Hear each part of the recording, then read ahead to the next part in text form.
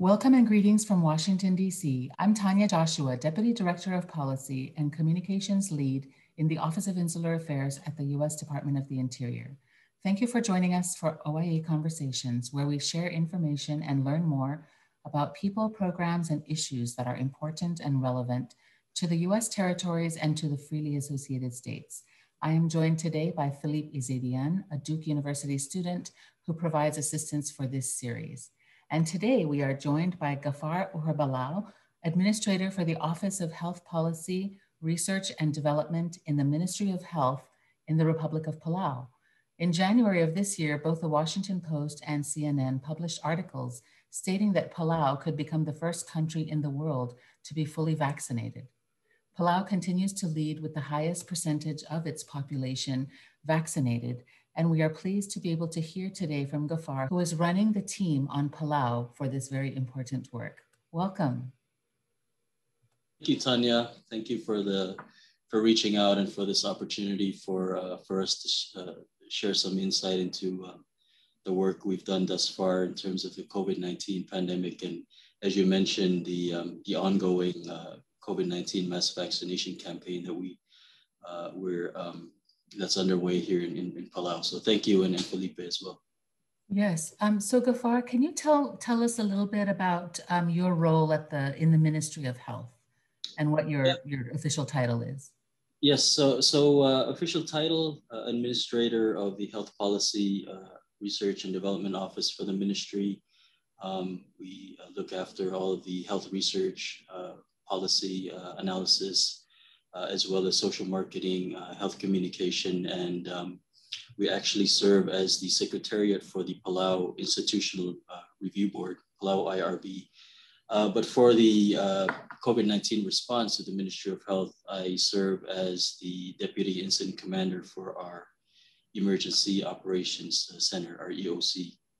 Um, so basically with that role, I assist the incident commander in overseeing the entire response, uh, the national response, uh, as well as assisting with the different sections and, and their tasks and uh, responsibilities if they need assistance from, from myself. So uh, like with other island jurisdictions, we have uh, many hats that we wear. And, and so um, for the Ministry of Health, those are the two uh, roles that I play at present.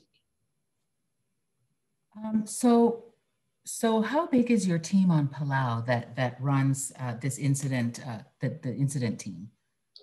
Yeah. So initially, um, when we started, uh, it's been uh, 14 and a half months now that we've been active. Uh, we activated our emergency plans uh, January 22nd, 2020, and immediately the day after, we started the point of entry screening at the airport and in the seaport. With our partners in the border uh, border control agencies, uh, immigration, um, customs, and, and biosecurity officers. So we were able to uh, initiate uh, those measures early on in the, in the outbreak. Back then, it was still an, considered an outbreak and, and not yet uh, char characterized as a pandemic by WHO. So uh, the team is actually not just the Ministry of Health personnel. There's key people that are part of the EOC that come from different uh, other government agencies, uh, for example, um, uh, the Ministry of Public Infrastructure and Industries. So they assist us with uh, airport operations and, and, flights, as well as uh, maintaining um, government uh, quarantine sites. We also have people that join us from the Ministry of Finance who assist us with the procurement, as well as logistics and the Ministry of State who um, join us uh, to assist us with uh, external communications with our uh, bilateral partners and uh, other uh, allies, as well as international organizations. So a lot of different people from other agencies that join the Ministry of Health in the EOC. So, but overall, um, and, and then we have our um, folks on the ground, so to speak, that ensure the day-to-day operations in quarantine sites, including uh, security, uh, national police that provide security at the quarantine sites. We have uh, people from the national uh, hazmat team that provide decontamination um, for the quarantine sites, as well as um, public works people that do um, solid waste management. So uh, I think all in all, including our clinical staff and public health, there's well over 50, 60, maybe even 80 people at a time. Uh, and now that we have the mass vaccination, that, that number goes up uh, perhaps even to uh, 100 or so that are part of this um, national response. So a lot of people coming from different uh, sectors that uh, help us with the response. Sounds uh, very um, organized and coordinated. Um, is there, how does the um, Palau population feel in general about, about COVID? Well, I think uh, we've come a long way since uh, a year ago. Uh, in fact, uh, it's almost uh, it's almost a year now that we were uh, able to start testing, conduct COVID-19 testing on island. So a lot of um, improvements have been made and a lot of um, critical infrastructure has been improved and, and procured, equipment, medical supplies. So I think um, public perception, the community attitude towards COVID has really changed since the beginning of, um, of the response last year. So I think it went from uh, initial fear and, and anxiety, uh, and then we uh, had all of these improvements coming in, and of course now with the vaccine. So um, now we have, uh, I guess, a bit of hope. Uh, but I think towards the middle or the end of uh, last year, 2020, people became complacent with our so-called COVID-free status. And, and uh, so, you know, people weren't as careful as uh, the beginning of last year, where a lot of the messaging was about preventive measures, hand washing, social distancing, um, and, and wearing a mask if you're sick. But I think towards the end of last year, uh, people uh, became a little complacent with uh, without cases identified. So um, I think that was the uh, the attitude back then. And now I think we're just trying to reach that goal of, of uh, vaccination, uh, vaccinating as many people as we can. Um, so I think we're hopeful. you know, like everybody else, we're just waiting to, to see this through. But I think um, we have to do it carefully and just in time. You just have to be patient, I guess. So, so you heard in my introduction, uh, you know, the international media is is has has you in their eyesights apparently for for many other reasons but but also now for covid. And uh, so is this your is it your policy to become the first in the world to be vaccinated? That's a very interesting question. I think mm-hmm. uh, no uh, it shouldn't be uh, any ministry of health or any department of health's goal to treat this as a competition or as a race. I think we should uh, keep our focus on our objectives which is really to minimize that risk of import and uh, subsequent transmission of, of, the virus. So uh, I don't think we've shifted our, our, attention into seeing this as a race or as a competition, but um, it certainly helps uh, to, to be in the in the uh, the the status that we're in right now, and, and we're blessed and certainly lucky. But uh, I don't think we should. I think it, there's a danger in that in, in seeing that this is a, a, status that we need to uh, maintain as, as, a, as a race or a competition. I think uh, most of our team members understand that this the, the, virus could come tomorrow and, and we should always be prepared. And in fact, we should expect to, to have a case and, and to uh, be able to mitigate that risk when, when it does happen. So we're certainly uh, thankful and, and uh, you know, the media attention uh, is uh, is good and it, it's uh, it's providing a, a, ray of hope for, for the community. But I think as a Ministry of Health, we, we cannot lose sight of our primary objective and our, our mandate, which is to ensure the safety of our population. Thank you, and thank you very much for making that point. Um, I, I, hope I didn't make it seem uh, light, um, but what I think what it does look point out perhaps is that uh, you are very I would say coordinated and organized. And it, it, I think the appearance is that from, from, from where I stand, uh, is that Palau is, is actually doing a good job of, of pulling all the pieces together. Uh, and, and that's, so being among the, the first to, to, to get those high numbers is really testimony to, to your collective team's hard work and, and coordination. So thank you for that point. Um, how about repatriation? You are also uh, repatriating folks already or have yes. done so? Yes, uh, I think, and, and going back to, to the earlier point of, of how coordinated we are, I think there's a lot of uh, contributing factors to the success that we've seen uh, to date. Uh, it requires, um, you know, political will and a lot of buy-in from national leadership as well as our partners, and of course the community.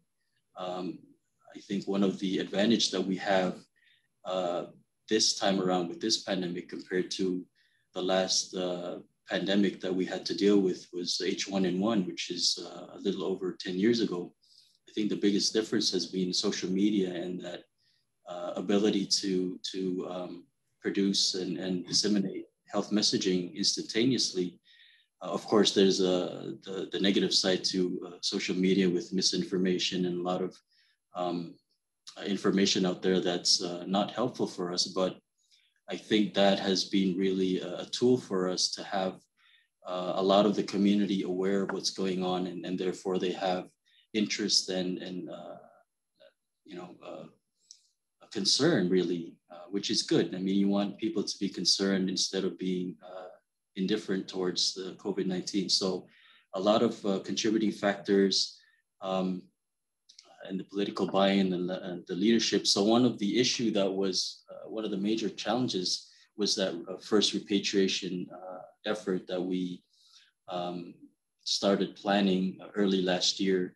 I think the last commercial flight uh, to Palau was towards the, the end of March 2020.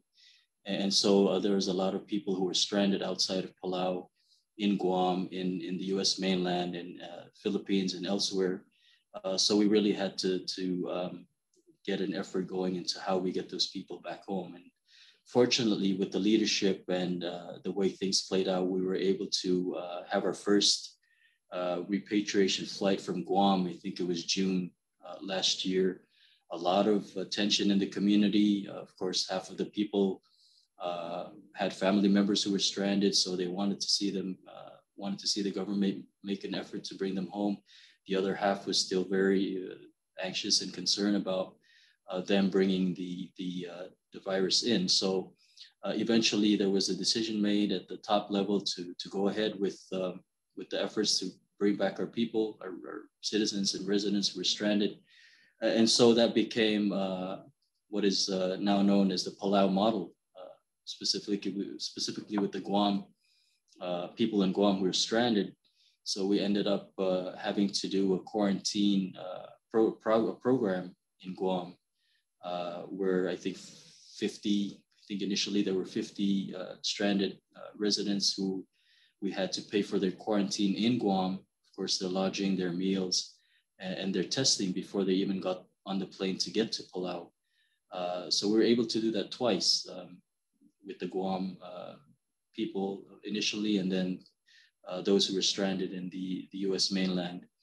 Uh, the other flights, uh, repatriation flight, is actually from Taiwan. We had a, a few medical referral patients and their escorts uh, stranded in Taiwan when um, regular service between Palau and Taipei ceased uh, around the same time as United flights.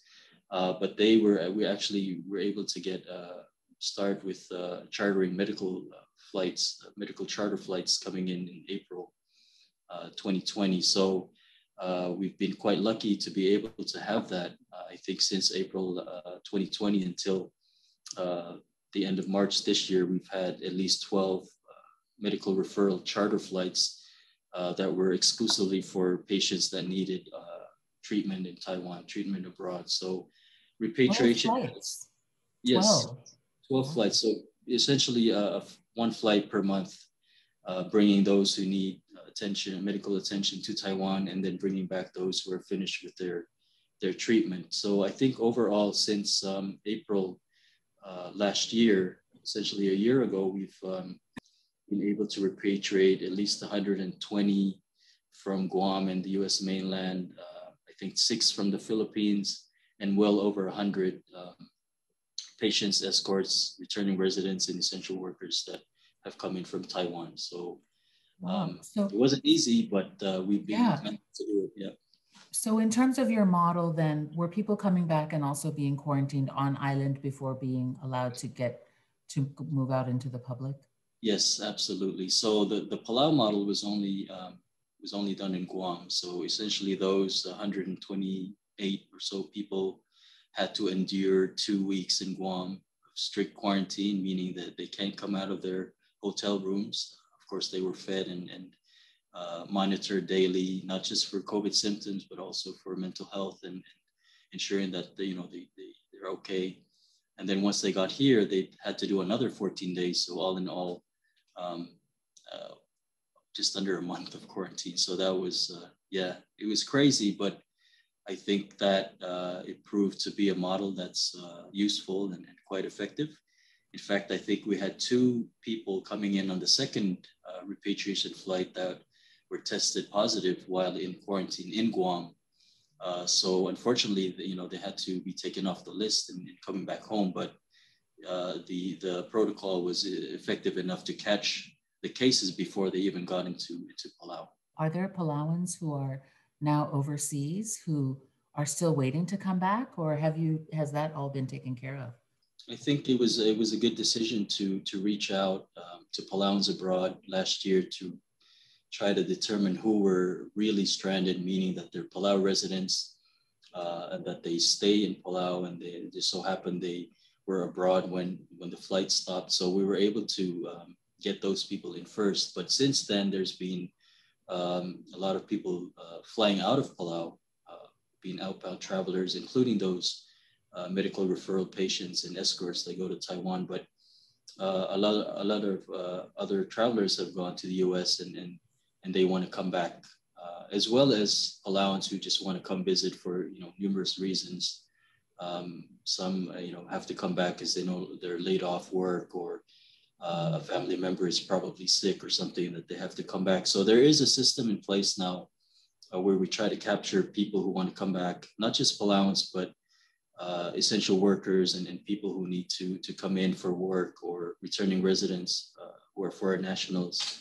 Uh, we've been able to set up a system where they can apply for uh, what we call a quarantine certificate to ensure that they're captured into the system and that we can find a way to bring them in. Um, so we've been operating with that uh, up until now that we have this uh, travel bubble with Taiwan. So your travel bubble with Taiwan, thank you for bringing that up. I saw in the news recently where your president went to Taiwan. Um, so is that the only uh, corridor, travel corridor now open? And can you tell us a little bit more about that bubble? Uh, so yes, I think for, for the month of April, for the, the rest of this month, Taiwan is probably the only uh, corridor um, where people can uh, come into Palau. We do have a lot of uh, military folks that are coming, US military folks that are coming in, but they're coming in via uh, military aircraft and, and they, for now, still have to do uh, quarantine once they arrive. But everybody else uh, would have to go through Taiwan at, at present. We are looking at uh, potential opening up of a United flight from Guam next month uh, in May, but of course that will depend, uh, that's uh, the president's decision. But for now, the, the only corridor to come into Palau is through Taiwan. And that's, that's not transiting through Taiwan, that's actually going into Taiwan and doing 14 days quarantine before they're allowed to come to Palau. Um, so yes, for now, in, in, the remainder of this month, at least, it's, uh, it's the only option for people to come in.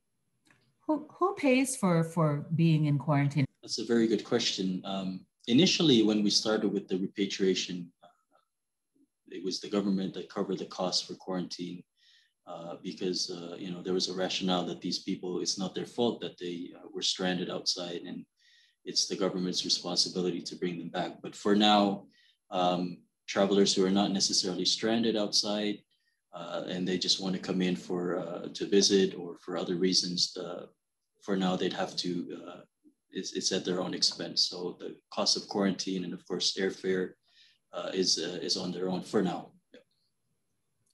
What is the cost approximately?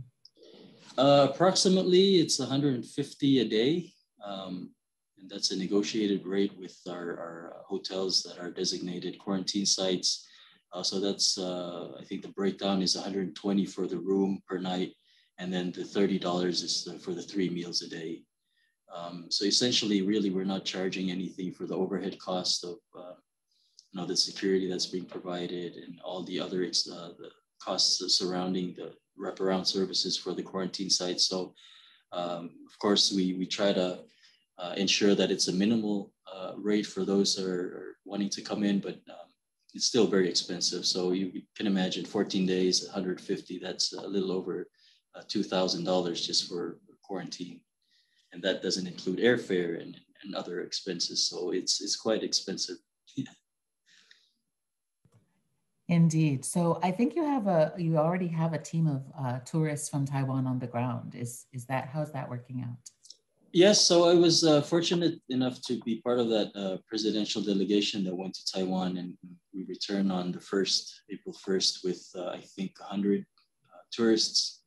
Um, since uh, April 1st, I think there's been two more flights, but um, again, the cost is quite prohibitive for people to, to come in. So I think they're working out ways to reduce that cost it is uh, quite uh, a unique um, situation for, for people to be traveling uh, during a pandemic, but I think it's something, it's, it's, a step that we've taken that hopefully would lead to some sense of normalcy in, in the future. Of course, it's going to take time, but uh, according to our president, uh, we have to start somewhere. And um, given the situation in Taiwan and how well they've managed to mitigate the COVID risks in their jurisdiction, I think um, we're comfortable enough to start this uh, travel bubble. Uh, we like to call call it a sterile sterile corridor. Um, and you know, it can't it can't be 100% safe, but there's always going to be a risk. But it's probably a risk that we're willing to take with uh, with care. Have you had any discussions in Palau about the I'm sure you have, but the economy and what, what the economy is going to look like now in COVID and then going forward. How is Palau? You, you were one of the high, you had one of the highest among the freely associated states numbers of tourists traveling to Palau. Um, 100,000, maybe 200,000. I don't remember the numbers. And now you're, what are your, what have been the thoughts around that? Yeah, I think there was a, a, actually a DOI report that came out that uh, did some uh, preliminary uh, projections, and I think the the number was we we would have expected uh, tourism to go down by just over fifty percent, uh, and our economy, our GDP, to go down uh, a little over twenty percent this year. Um, so you know we're actually quite um, thankful and blessed to, to be able to uh, be eligible for the last year was the CARES Act, uh, and now it's the uh, American Rescue uh, Plan Act, and, and and it actually helps a lot with uh, with the tourism industry, those who were laid off and essentially lost uh, income, source of income because of the decline in, in tourism. But um, that, that really has helped sustain people's lives really since the, the beginning of the pandemic. But I think we just want to make sure that uh, you know there's an opportunity to restart in, in some way now and um, just be just be hopeful that things will get better the remainder of this year and into next year. But yes, uh, uh, although we haven't had a case yet, uh, so we, we're not directly impacted by uh, COVID-19 and the pandemic, but certainly it's, it's uh, had a huge impact on, on our economy as well as other things that are indirectly attributed to the pandemic. Could you speak a little bit about your work with the, uh, I think that you are part of, you meet regularly with a group that has a lot of federal federal partners, uh, CDC, Interior is part of that team. Can you speak a little bit to that? Uh, so yes, there's a, a regional, um, it's actually a weekly uh, sort of regional call that just provides uh, round the table updates from partners as well as the, the US API uh, jurisdiction. So um, a lot of assistance uh, from the US federal government as well as um, other partners such as Taiwan and Japan um, and uh, Australia and other bilateral partners, of course, WHO, uh, a lot of assistance from them as well and the, and the UN uh, agencies. But yeah, I think that that really has helped us uh, tremendously uh, just to keep you know people on the same page and, and uh, keep everybody abreast on the developments in different parts of, um, of the region. Um, and, and, and, again, uh, going back to our uh, relationship with the US and, and, the, the COFA, the compacts, I think uh, that has been really the, the uh, assistance that's really made a lot of difference for us since the beginning of the pandemic. So yes, again, we're quite um, thankful to be part of uh, what was Operation Warp Speed, and, and, now I think it's just Operation, but nevertheless, providing the vaccines that uh, we need. Um, and uh, we've been able to successfully roll that out, and, and we're quite uh, confident that we're on track with what we planned initially from last year that we might be able to reach uh, the so-called herd, herd immunity um, by May of, of 2021. So um, yeah, we're, we're quite uh, thankful that we're still on track for, for that goal. Um, so if you reach herd immunity by May 2021, I suppose the decision hasn't been made yet, but would you be opening up to regular travel then, hopefully? Well, uh, so I think moving forward, um, there's probably two main challenges that we face as, as a country. And one is to accept the fact that the vaccine will be the reason why we get a case uh, because of reopening. And um, we the challenge now for us is to uh, get people vaccinated, but at the same time, uh, communicate the, the need for us to go change our mindset from uh, COVID free uh, to COVID safe, meaning that uh, if we open up and when we open up, we definitely should expect to have a case. Uh, so that's one. And, and, the two, secondly, uh, the second is that uh, we have to see what that means for us to be among the first in the world to be vaccinated and how that compares to the rest of the world. I mean, this pandemic is not probably not going to be over by this summer. So we have to be mindful that we are in a unique situation that we haven't had a case yet, and it looks like we're going to reach uh, so-called herd immunity in, in, within a month's time. So what does that mean? Does that mean we fully reopen while the rest of the world and, and the, region is uh, still uh, trying to uh, reach their vaccination goals and trying to get their cases uh, case numbers down? Um, or, or what does that mean? So I think for now we're being very careful um, even though we're in a very unique situation, a very ideal situation, but uh, we still have to be careful uh, to make sure that whatever decision we make is, is based on um, good judgment and of course science and, and uh, based on our assessment of the region and, and what's happening globally. Um, so to answer your question, uh, maybe we might uh, be able to reopen, but again, it depends on the rest of uh, the, commun- the regional community and the world and how the pandemic is going we had a conversation with the Secretary of Health in the Marshall Islands, um, Mr. Niedenthal, and he mentioned that they felt, I mean, I suppose nobody is completely and ever fully prepared, but they felt much more prepared now than, of course, they were at the beginning of the pandemic.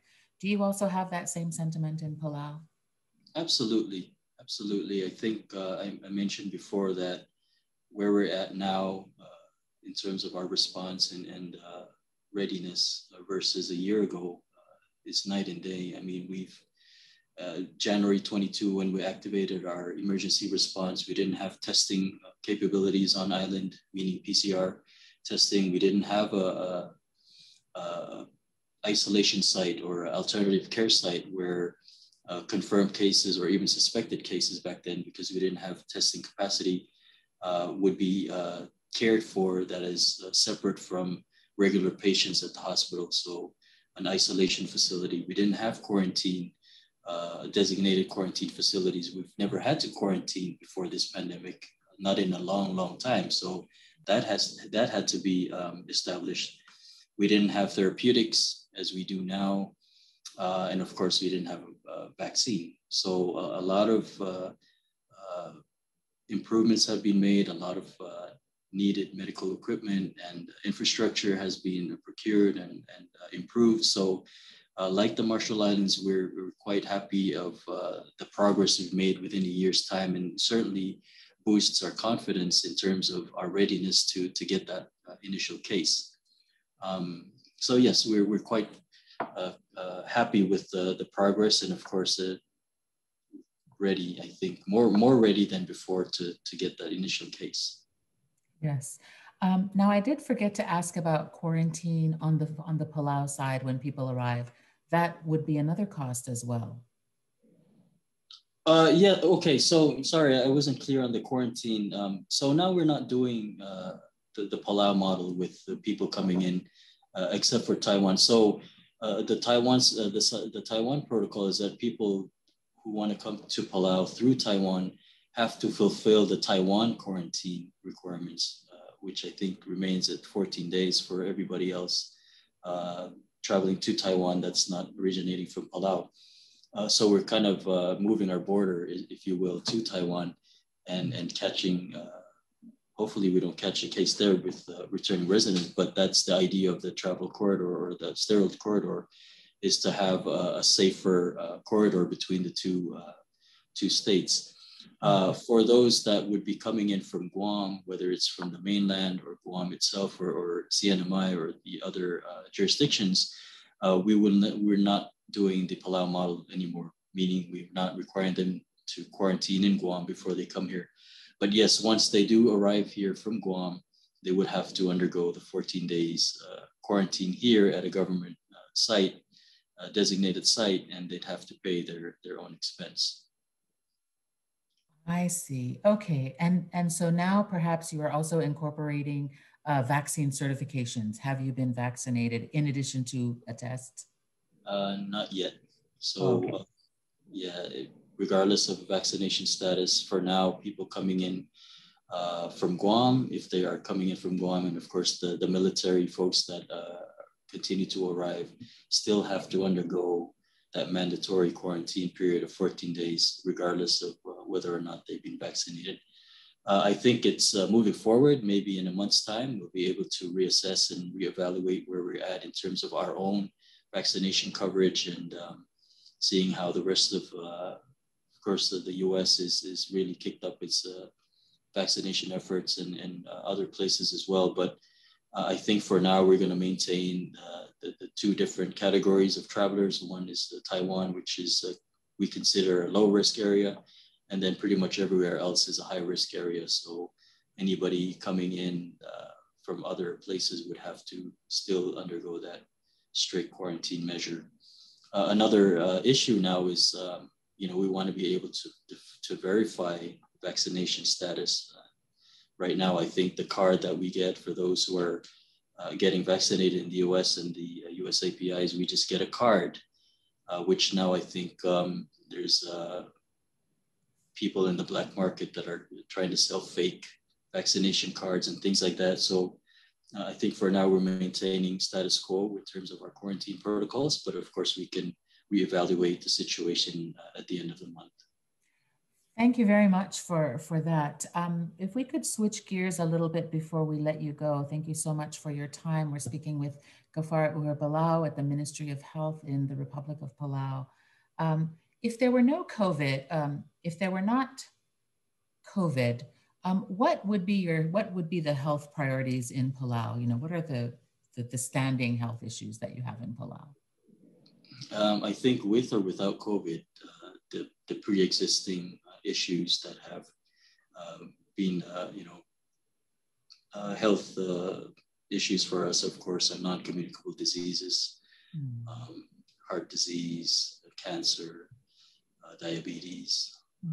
hypertension, like everywhere else in the Pacific Rim. It's it's a challenge for us, and um, the pandemic just made it worse. Uh, you know, like I said before, many of us uh, wear many hats, and, and it's the same clinicians, it's the same public health workers, same allied health people who do quarantine, who do uh, testing, who do screening at the airport, who do uh, numerous things that are COVID related, on top of regular services that we have to provide. at the hospital and public health. So it's the same people, same nurses, same doctors, same public health workers. So you can imagine that when the focus was shifted to the pandemic, uh, it was very hard not to neglect uh, the pre-existing issues that, uh, you know, chronic disease. And uh, another thing that I want to mention is with the stimulus, uh, economic uh, stimulus and income protection that we get, uh, not just from the U.S. Uh, um, CARES and, and, American Rescue, but also the, the Palau uh, government's stimulus. we saw a lot of car car accidents that relate to uh, you know alcohol use and, and you get island fever uh, without travel and, and people are anxious and, and a lot of uh, anxiety with the pandemic and so uh, we we saw a, a, rise in substance use and abuse and, and that led to you know injuries unintentional injuries that uh, cannot be immediately addressed because of lack of flights with the referrals and, and things like that. So again, a lot of indirect uh, consequences of the pandemic, uh, in addition to pre-existing health issues that we face. So yeah, a lot of non-communicable diseases and injuries that are, are not related to the pandemic uh, that we still, we still continue to face as challenges. Thank you for mentioning all the indirect impacts as well. I mean, I think we're seeing that in the US uh, very significantly. Um, in terms of communications, when you are communicating, are you thinking also about Palauans overseas? How involved are Palauans, you know, that are overseas in terms of when you have to communicate to the public?